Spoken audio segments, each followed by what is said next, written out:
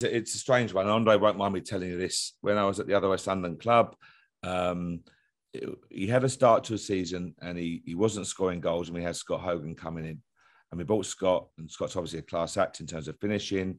And Scott would have probably stepped in for Andre. He'd had a bit of a barren time and he couldn't score goals. And, um, it, you know, he probably would have stepped in. Scott had an injury. Um, Andre Gray then could not stop scoring, you know, from that run. And he got championship player of the month and he team of the year and everything else. And he kicked on from there, gets his Premier League move. And it's one of those moments. And, and Andre's a player that needs to get that rhythm right. Uh, and he can be very frustrated with himself by, you know, miss a simple chance and hit a 20 yard scream in the top corner. Um, but he's a player that certainly needs to get his, you know, his, his fitness levels. He's a powerful athlete. And if you get that right, Ian, he should be one undoubtedly one of the most dangerous strikers in the division. He has got pace, he's got power, he's got an eye for goal, he's got proven track record. So I'm delighted for him that he's starting to score a couple of goals, and I'm looking forward to seeing him play. Hopefully tomorrow night we've got Charlie Austin as well, who may well join him. Two strikers could hurt them. Um, I hope we'll have to wait and see, but certainly it's nice to see Andre playing like that, lead the line on Sunday, and enjoy his football.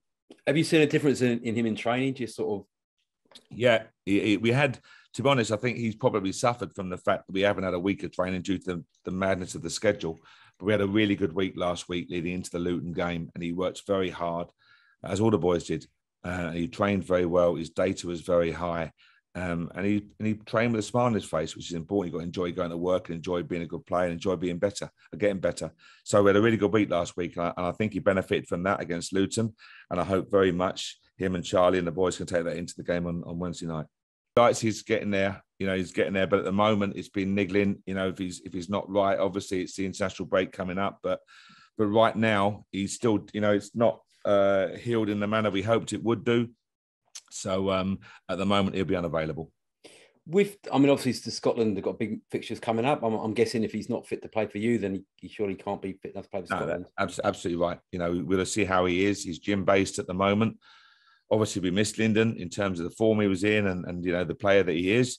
Um, but he's gym based at the moment. He'll go to sports science if he ease back into training sessions slowly, so, as you rightly say. And we, we always want our players to to go and enjoy the international football and come back better players for the experience.